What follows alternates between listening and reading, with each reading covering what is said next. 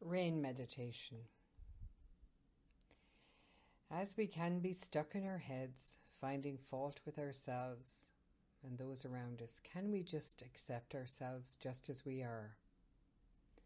If we can stop the inner narrative, the chatter, we can give ourselves permission to blossom. The RAIN meditation is an acronym R stands for recognizing what is happening, acknowledging consciously the thoughts and feelings and behaviors that are affecting us. A stands for allowing. Allowing means to pause with the intention to relax our resistance. We tend to want to suppress and control, but in doing so, we use up a lot of energy and we also leaden and deaden our overall emotional range. I stands for investigate. This is about being curious. Curiosity is a wonderful capacity we have. And when we marry it with kindness, we are indeed exploring as one would a new place or a new setting with openness and a warm heart. Questioning yourself, perhaps saying, Why do I believe this? How does it feel? What does this feeling need? And finally, N is to work on non identification, not getting caught up in the experience, but also nourishing ourselves and resting in loving awareness.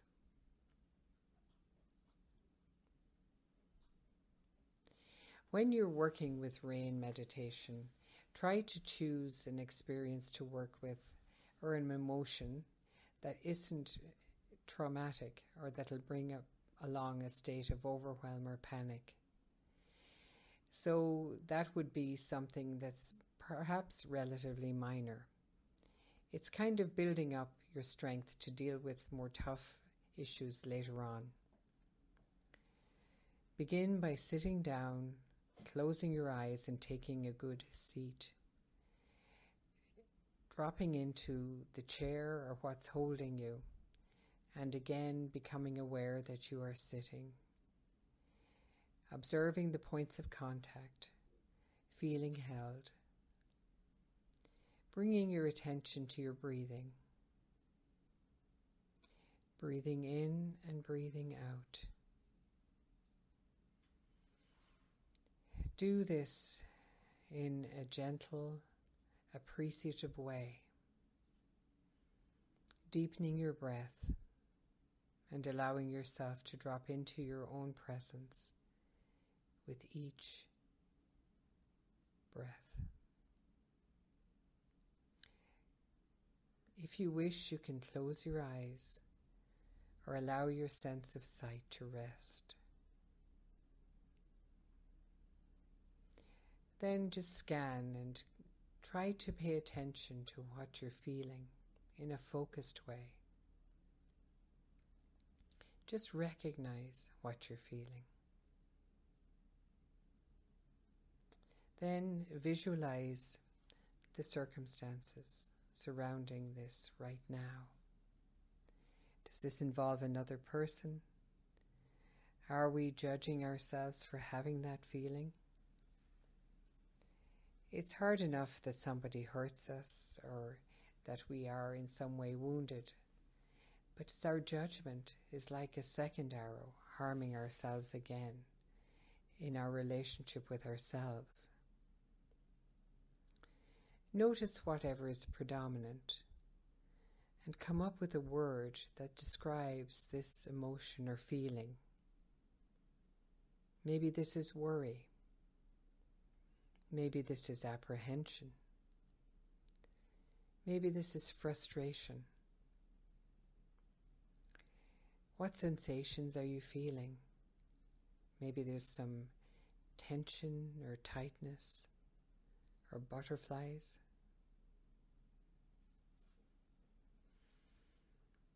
Next, just allow. Just notice what's happening without judgment. Perhaps acknowledging that this belongs here right now. Or I'm just riding this like a wave.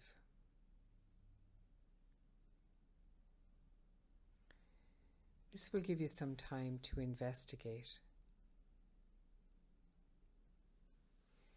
Observing where the sensations in your body are speaking to you, where the emotion is lodged. Maybe it's in your throat, in your chest, or your belly.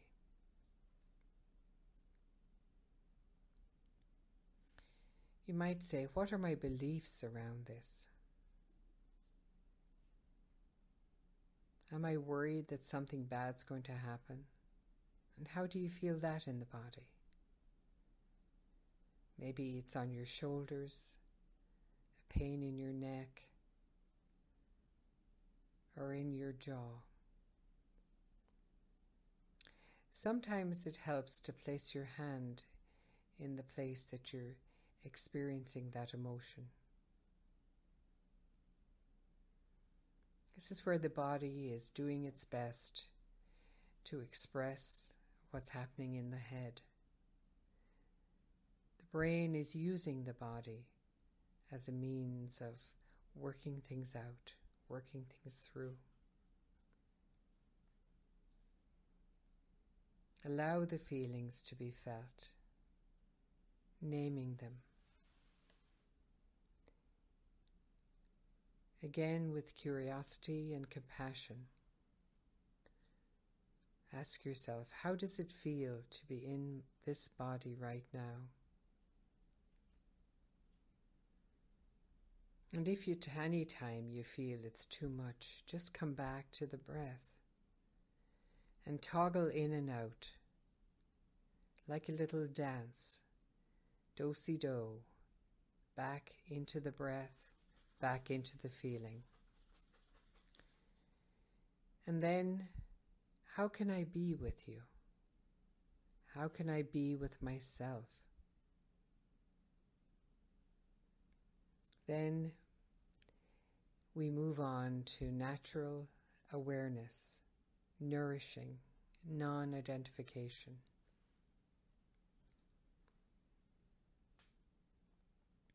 If you can imagine somebody who loves you or a wise person, whatever works for you, listen from, from that space that embodies that person. What do you need? Acceptance? forgiveness, connection. Allowing that presence to bathe you, bathe that part of you which needs it in love or tenderness. Feel it happening. Ease into it and observing the quality of presence you have. Maybe it's love and light and warmth.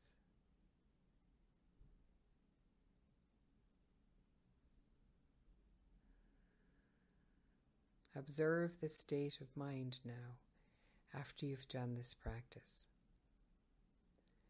Perhaps there's a change between how uptight or agitated you were at the beginning and how you are now. Hopefully, you have more spaciousness and openness.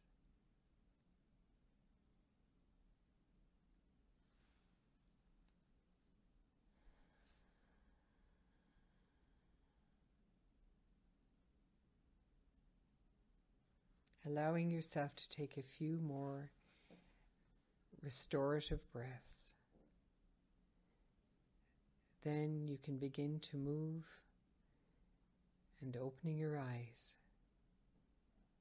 getting along with your day, thanking yourself for having faced into something that was challenging, not try to suppress it or distract yourself. Instead, you've allowed it to flow through you. And your body and yourself thanks you.